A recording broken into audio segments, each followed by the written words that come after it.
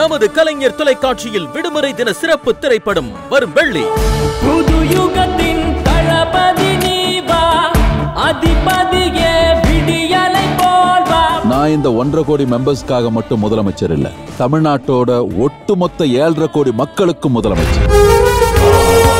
RKG நெய் வழங்கும் mega star Mammootty நடித்த ஒன் புத்தம் புதிய திரைப்படம் வரும் வெள்ளி பிற்பகல் ஒன்று முப்பது மணிக்கு.